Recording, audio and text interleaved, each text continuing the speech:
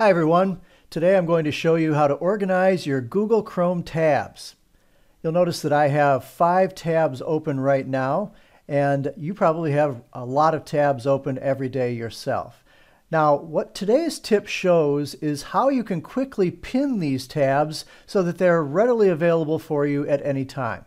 One tab that I use all the time is my inbox, my Gmail inbox. Now I want to pin my Gmail so I'm going to right click on the tab and then left click on pin.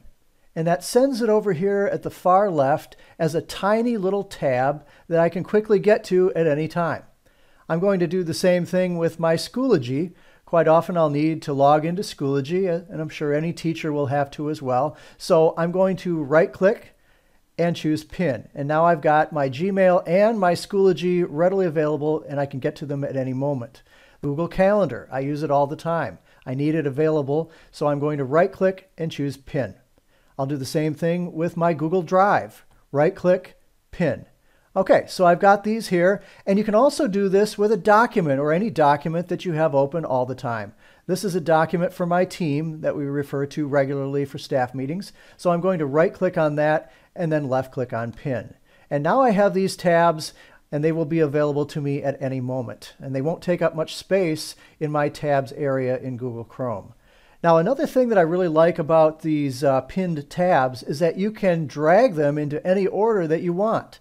So, for example, if I want Google Drive right next to Gmail, I can just drag it over there.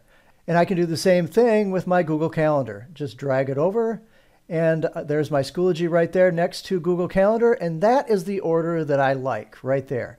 Gmail inbox, my Google Drive, my calendar, my Schoology, and then a document that I refer to regularly. So we've got them all right there. So one question you may have is what happens when I close my browser? Sometimes you might close it by accident, for example, and you want to get these tabs open again.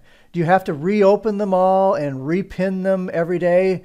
And the answer is no. Believe it or not, if I close Google Chrome and then I reopen Chrome, and then you'll pick whatever login you use. So here's Mark Work, and there you go.